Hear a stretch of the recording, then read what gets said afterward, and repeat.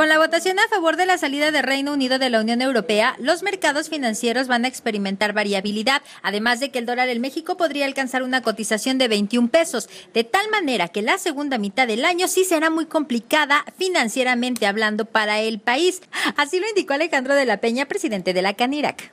Es un tema que realmente le va a favorecer al Reino Unido en hacer su propia moneda, en deslindarse de la Unión Europea creemos y no creemos, más bien yo estuve por ahí analizando un poco el tema, qué es lo que dicen los expertos en el tema, y es una devaluación del peso mexicano, es un incremento de tasas de intereses, es un panorama difícil para México, porque no tiene la fuerza, aunque el gobierno acaba de declarar que tiene la fuerza necesaria para que eso se solvente, pensamos que realmente sí se va a ir casi a 21 pesos como está pronosticado el, el dólar, ¿no? ¿Cómo nos, repercute? Pues nos repercute, como le hemos venido diciendo, muchísimo en cuestión de que muchos de nuestros insumos y muchos de nuestros de nuestras máquinas que podemos utilizar en la industria, bueno, pues están cotizadas en dólares, ¿no? Entonces todo eso definitivamente le va a pegar a la economía mexicana y hacer nuevas estrategias. Hay que ver cómo realmente se puede contrarrestar esto. Esperamos que no sea tan, tan lastimoso el cambio de,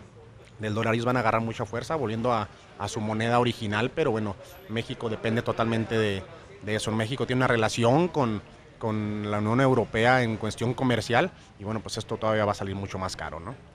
Ojalá y no llegue a tanto, pero de que va a haber una, un colapso de la economía, muchas cosas en cuestión, en cuestión a ese resultado que se deslindan del de, de, de la Unión Europea, que definitivamente les va a pegar en la economía muy fuerte. Esperemos que no llegue hasta a los cierros de las empresas, pero claro que puedan existir.